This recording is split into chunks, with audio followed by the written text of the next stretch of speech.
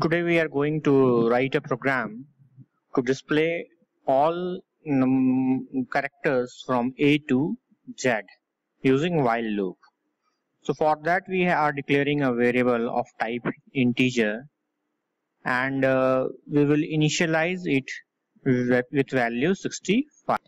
We have taken its value 65 because uh, ASCII value of A is 65 so we have initialized i with 65.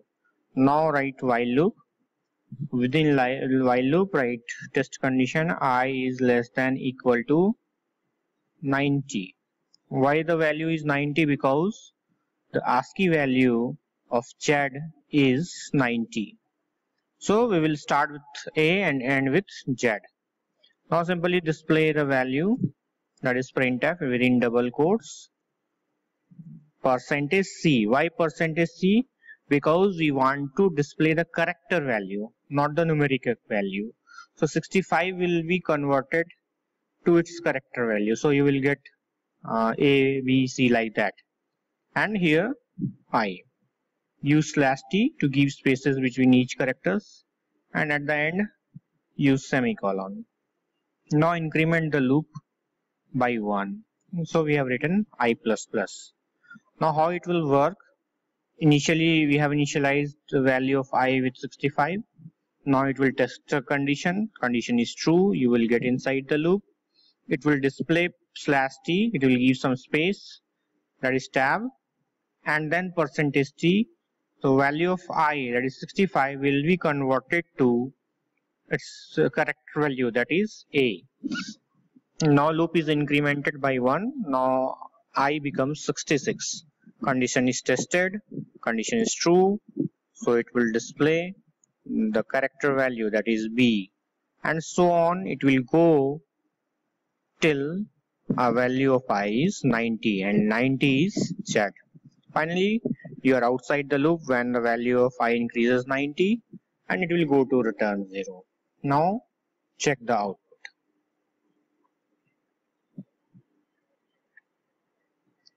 see here you can find A, B, C, D, E, F, G, H, I, J, K up to Z.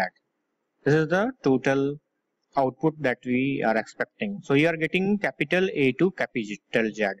What if you want to display small a to small z? For that you have to write initialize i with 97 and i is less than equal to 122 cap, uh, 97 represents small a and 122 represents small z. Now again compile the program and check the output. You will see small a to z is displayed on the screen. Now we are willing to display it in reverse order. That is, we want to display z to a, small z to a. In this case, we have initialized i with 122 and we will continue the loop unless i is greater than or equal to 97 that is the ASCII value of a. Now in place of increasing the value of i we can decrease the value of i by 1 for that we will use i minus minus. Now compile the program and check the output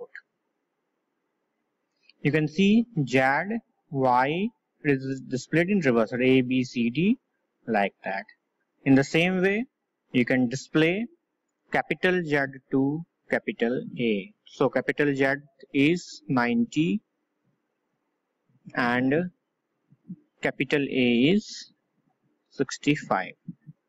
Again, here we have incremented the value of I, compile the program and check output again you will get A to Z in reverse order.